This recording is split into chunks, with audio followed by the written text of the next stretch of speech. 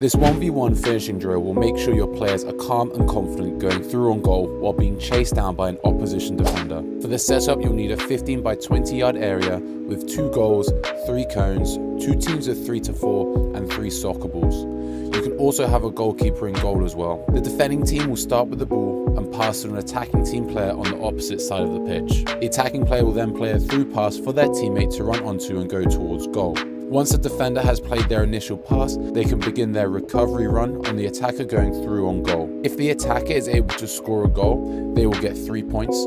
However, if the attacker gets fouled, they will get 1 point. If the defender is able to gain control of the ball, they can score in the opposite goal for 1 point. And if the ball goes out of bounds or if the goalkeeper has control of the ball in their hands, then both teams will get 0 points. The pass playing through to the attacker should be in front of them so they can control the ball in their stride. When going through on goal, the attacker should look to cut off the defender by taking a touch across their running path.